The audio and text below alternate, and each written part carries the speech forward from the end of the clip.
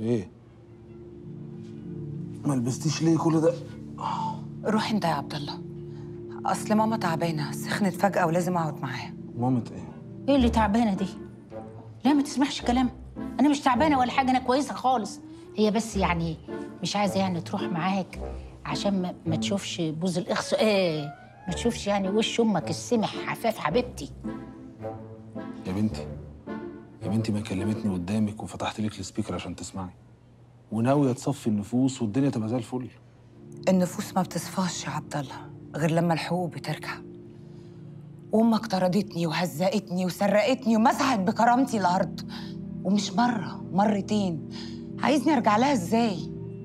ما يصحش كده يا مروة إيه قلبك الأسود ده؟ معلش يا حبيبتي كانت صغيرة كده وطايشة كانت يا دوب قافلة الستين.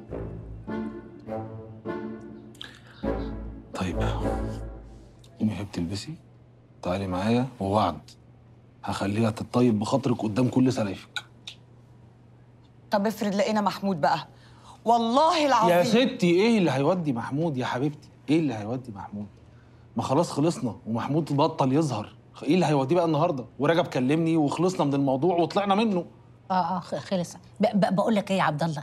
أنت ما يصحش برضو تخش على الوالدة كده بإيدك فاضية. أنا عاملة لك برطمانين فسيخ معفنهم لك بنفسي والله. علشان ست الكل. عفاف حبيبتي.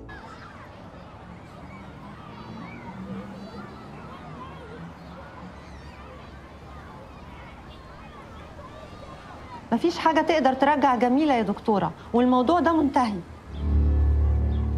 وبعدين أكيد جميلة مش محتاجة الوظيفة. دي تقدر تبني مدرسة. وجميلة رغم كل اللي حصل كانت عزيزة على قلبي جدا. فمش عارفة دلوقتي اللي هقوله ده في مصلحتها ولا إيه. جميلة اتطردت ما استقالتش. ما كانش ينفع بعد اللي اكتشفناه إنها تكمل هنا طبعاً. ودي بقى ميزانية المول الجديد. فضل فضل الله. يا فضل انت معايا؟ معاك يا ممدوح. معاك. بس انجز. انجز. انت عارف ما عندناش وقت. شوية وهنروح للناس. لا واضح ان انت معايا قوي. فضل اوعى تكون بتفكر تعمل حركة من حركاتك هناك.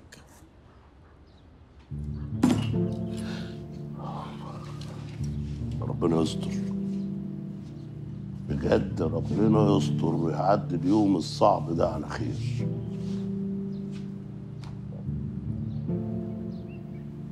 بقول لك يا ممدوح ما تيجي معانا؟ لا لا لا لا. أنا ورايا حاجات كتير قوي عاوز أعملها. عاوز أخلص وأطير على دبي. ده إيه الندالة دي؟ هو كامل ده مش صاحبك زي ما أنا صاحبك؟ إيه؟ ما نفسكش تشوفه يا أخي؟ والله نفسي أشوف بس يعني مش هينفع في الجو العائلي اللي أنتوا هتقعدوه ده. وكمان ما ينفعش قبله لوحده. عارف ليه؟ لأنه هيفتح الدفاتر القديمة كلها. وهيتكلم بقى في الاسم والخصام والقطيعة اللي ما بينكم.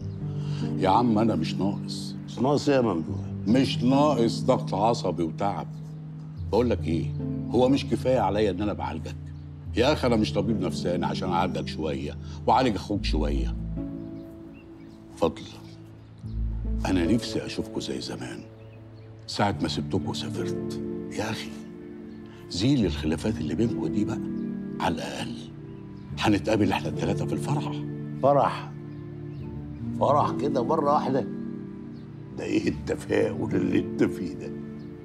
عارف أكتر حاجة مسلياني في الموال ده يا لوحة إيه؟ تفاؤلك ده. بس أنت ومنال. لا لا لا لا لا. كده يبقى انت ناوي تعمل حركة من حركاتك هناك. بقول لك يا فضل خليك قاعد هنا ما تروحش أحسن. إيه يا ممدوح؟ مش كفاية شغل. سيب فضل يجهز بقى. لا جاهز أعمل إيه يعني؟ ما أنا جاهز أهو. لا أنا قصدي تجهز نفسيا. تقعد كده مع نفسك وتحسبها كويس قوي. فكر في الكلمة الصح اللي لازم تقولها.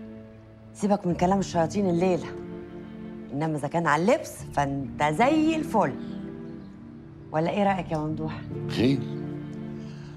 خير إن شاء الله.